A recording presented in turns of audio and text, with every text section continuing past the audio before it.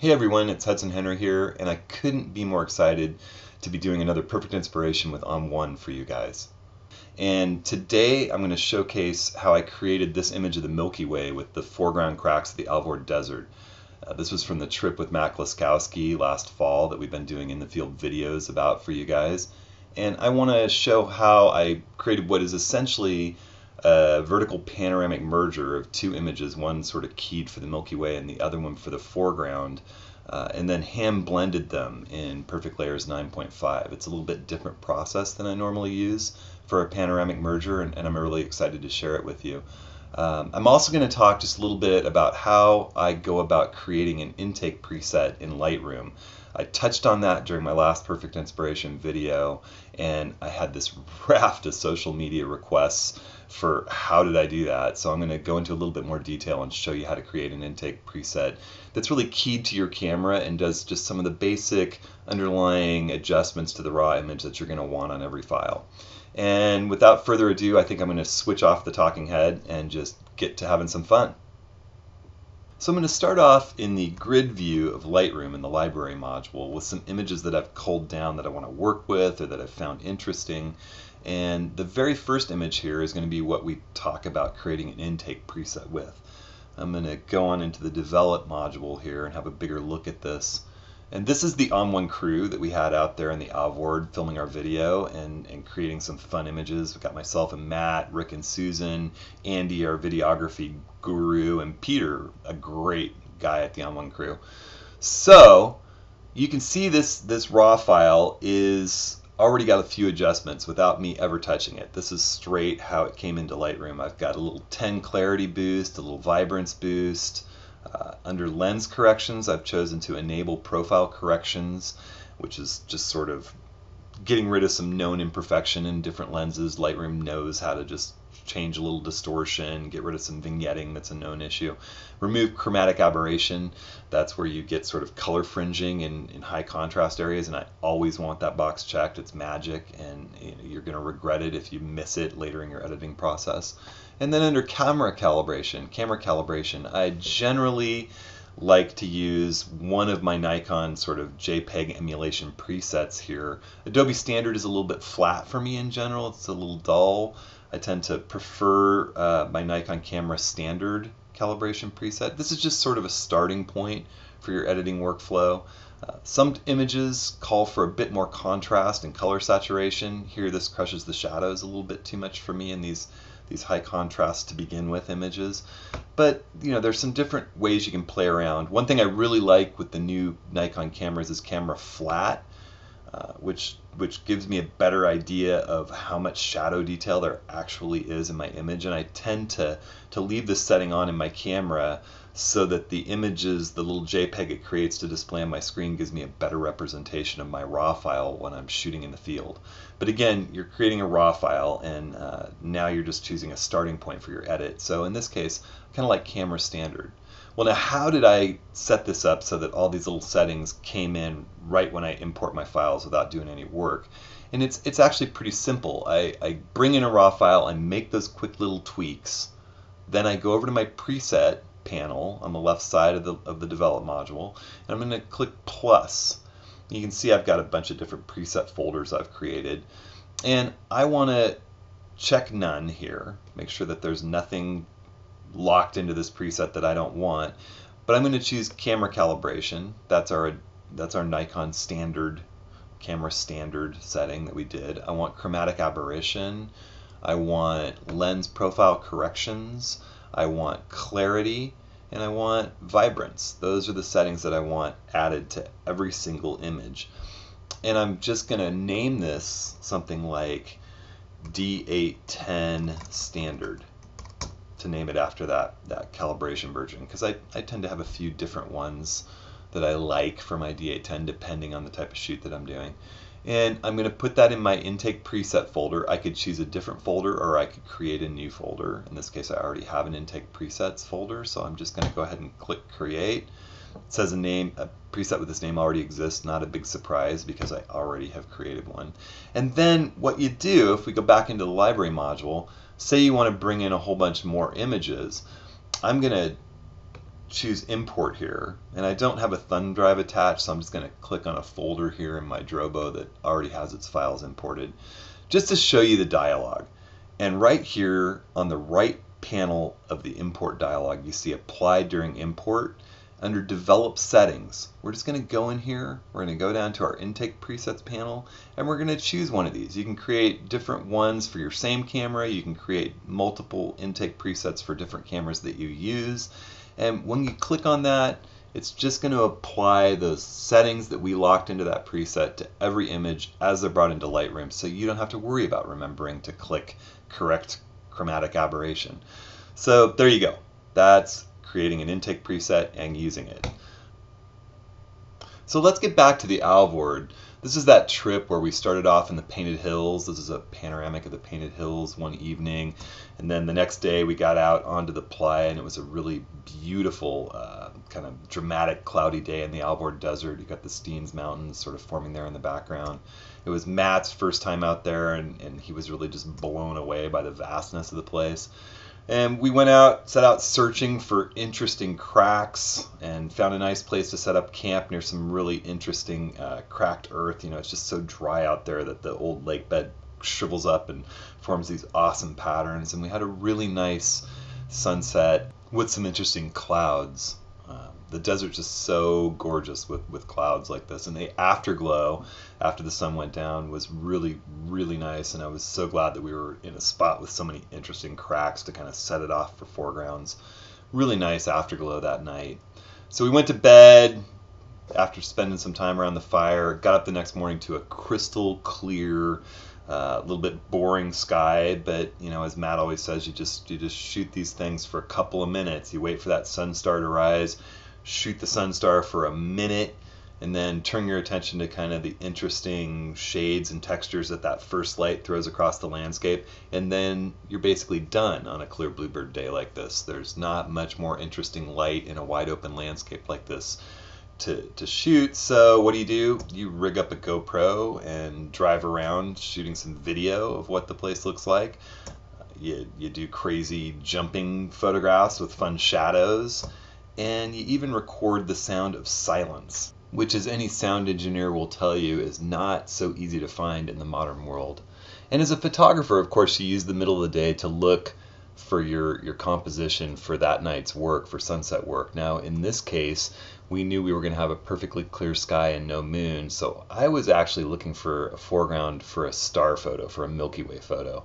I was really excited about the prospect of being far away from noise pollution and in this really kind of wide open, interesting space to do something with the Milky Way. And I've been thinking for a long time about doing a panoramic merger of an interesting foreground and the Milky Way, a big vertical one. You know, think about a, a long space alongside a door in a in a home or a big, you know, tall section of wall, something that goes from right in front of the camera on the ground up into the top of the Milky Way's arch through space. And so I set up, I found these really interesting cracks.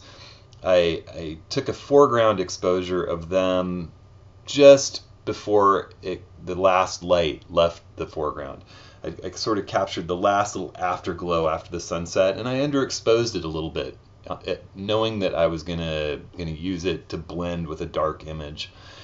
Then I waited. We sat around the campfire. We had some fun. We told stories. We ate and I came back to the camera, tilted it up, and shot the Milky Way as it as it rolled into view across the scene. I had to wait a few hours until it got into the right position above the same hills.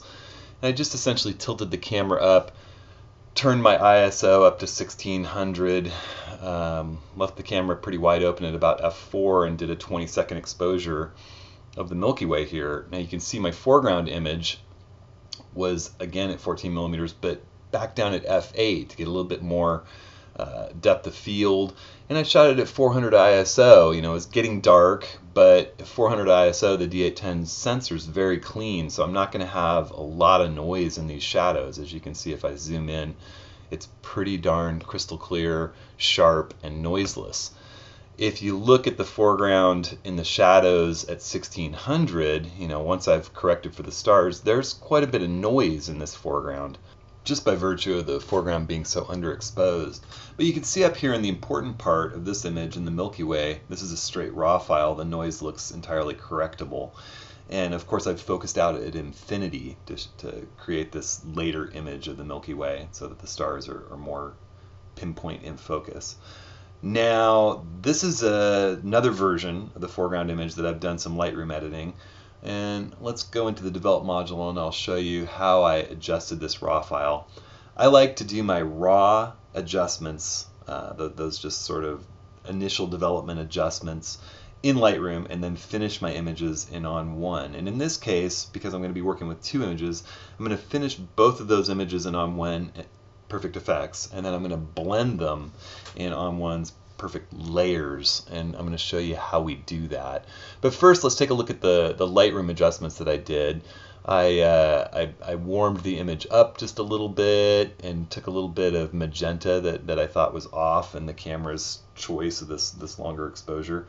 Um, I've added just a little bit of exposure and contrast. I've played with my highlights, shadows, white point, black point, um, boosted clarity a little bit more, pulled the vibrance back a little bit. I just wanted a little less color in this scene. Um, and here in detail, I've done quite a bit of work. That's the only other real spot. Uh, you can see I've done a bit of noise reduction, quite a bit of sharpening. Um, and, and if you go in here and have a close look at the, the finished image, it's taken it a minute to render you can always, after you work in detail, I like to turn it on and off and make sure that what I've done has added to it. And you can see I've gotten rid of some color noise, some luminance noise, and just added a bit of sharpness to this image with the work that I've done in here. And you know, if you're just going to be displaying displaying an image online or on your computer screen, probably not such a big deal. But if you like to make big prints, which I do, one of the huge drives for me doing all these panoramics and multiple image mergers is that I just love to see things big on the wall. This stuff gets really critical, those fine little details when you're pushing things to their maximum sizes. So, you know, I've shown you guys sharpening in the last episode, the last Perfect Inspiration episode. It's it's kind of a complex little thing. Look for the other Alvord Perfect Inspiration, and you can see a little bit of my sharpening workflow. It's no different here than it is in a standard image. Oh, one other thing that I did to this image that is, is pretty obvious actually is I went up here into the graduated neutral density filter in, in the Lightroom basic adjustments. And I, I dropped one in here that really lowered the exposure right on the line of the mountains because I know that in my image of the stars the Steens Mountains are going to be black there, there, there's not going to be any detail at all in those. And in my original image, there's there's some detail in there, and I want to really crush those shadows right on that line right there so that I can easily blend at that point these two images. I know I'm going to be blending them by hand in those mountains. I've been sort of thinking about the way these two images are going to line up from the moment that I created the images in the field actually. And you can see I've essentially lowered my exposure, boosted contrast, dropped the highlights and, and color saturation, clarity a little bit, and just just crushed these shadows with a short transition zone using on uh, using Lightroom's graduated neutral density filter. So here you have the Lightroom basic raw adjustments. These are just sort of how I want that raw file developed to go in and finish the edit in Perfect Effects. And, and here's my Perfect Effects 9.5 edit of that image. You can see it just pops. It's just got a little bit more punch and pizzazz and contrast. And I'm going to go ahead and right click the image or control click uh, for the Mac and say edit in Perfect Effects 9 suite. And that's going to reopen, I'm going to use the original this smart photo. I've saved it as a smart photo in the Perfect Photo Suite, and that's going to let me show you each and every move that I made, and of course I could go back and redo it. For those of you that are still working in Suite 6, 7, 8, this is not an option, and it alone is reason to really strongly consider upgrading to 9. Um, it lets you go back and change things if you feel like I, we've all gone to bed, woken up the next morning, and looked at our image and said, Whoa, what was I thinking in the middle of the night? I was clearly editing too long. Well, this lets you run back in, see every layer, every mask that you put on the image, and re edit it. Um, so here was our image coming in from Lightroom with just those basic raw adjustments. I added some dynamic contrast, and I started with, with the landscape preset over here. You can run into your filters and and I chose a natural preset for dynamic contrast, but then I boosted the, the small details just a little bit. Uh, and I found there was still a little bit of noise when I zoomed into 100%.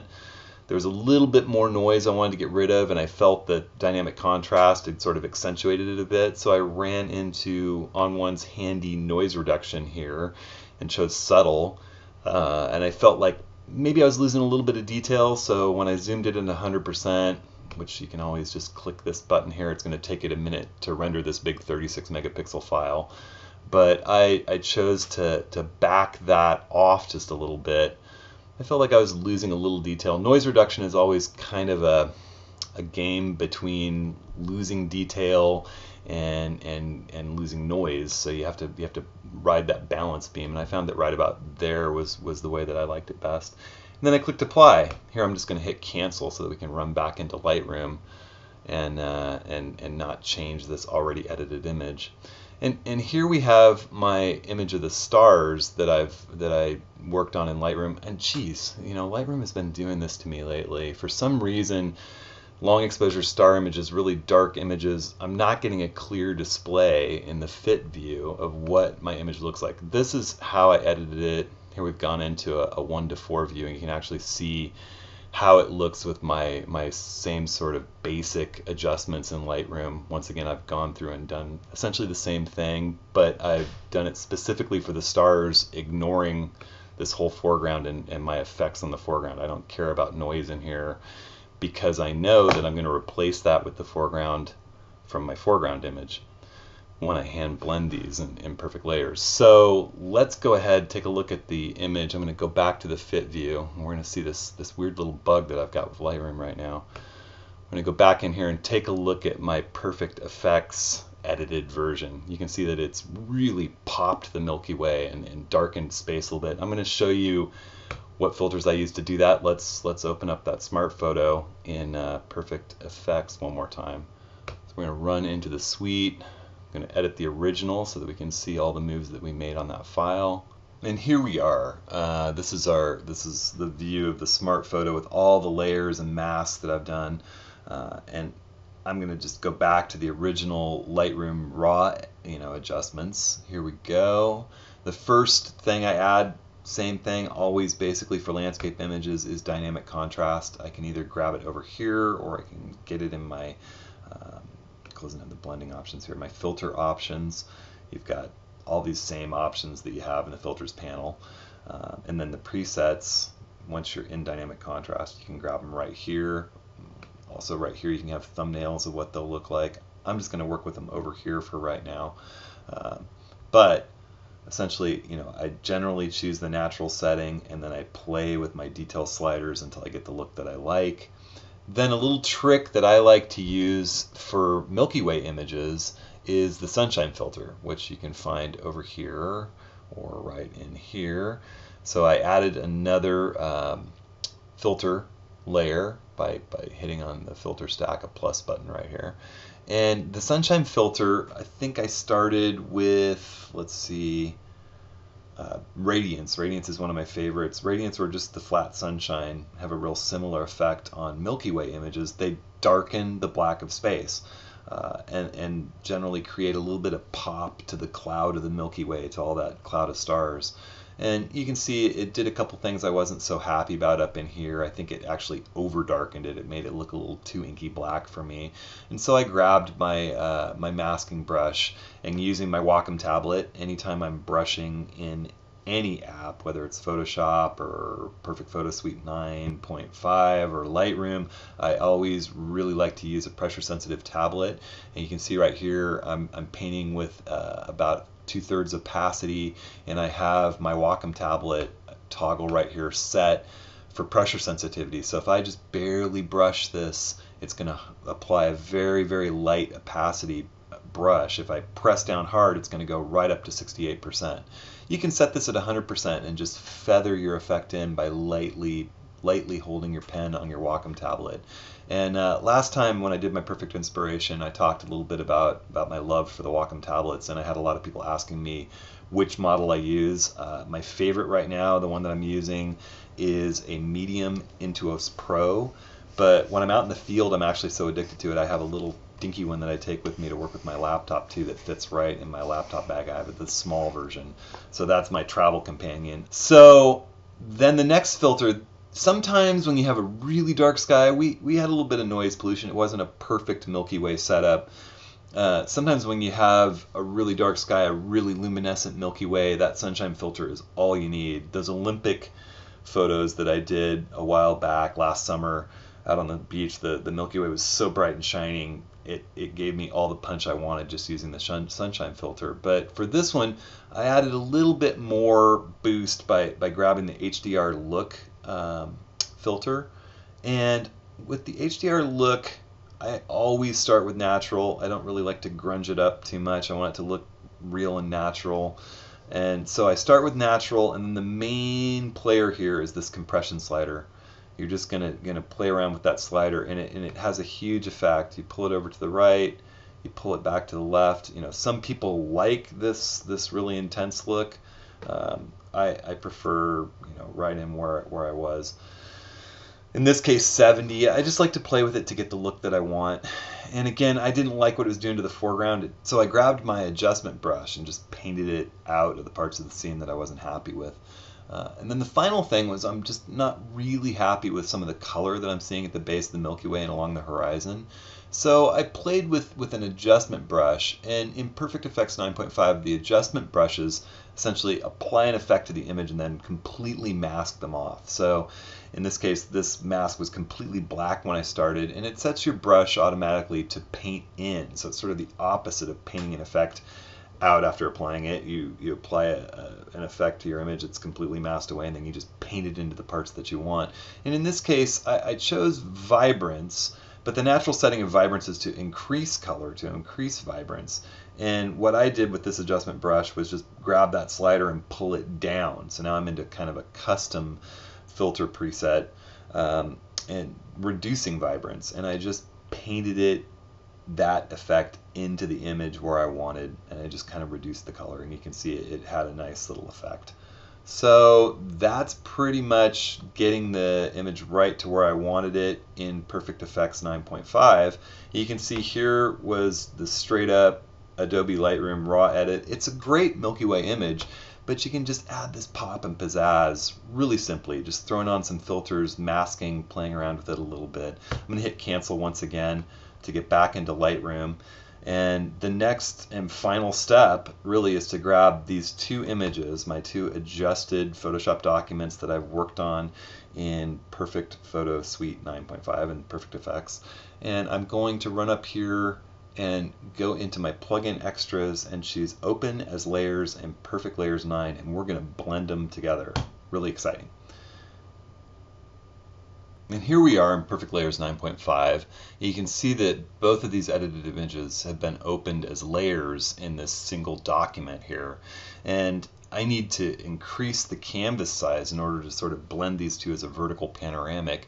And the way I'm going to do that is I'm going to run up into the menu here and choose Edit, and I'm going to adjust the canvas size.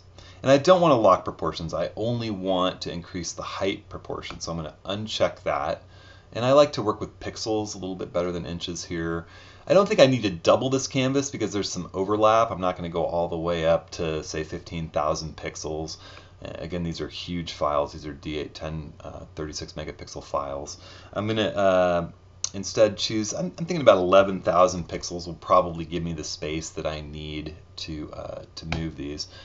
And there we go. I'm going to grab the transform tool now and in a real simple way to, to move this vertically upwards, you can grab it with your transform tool and just drag it upwards. But to keep it perfectly straight as I'm moving up, I can just hold my up arrow on the keyboard.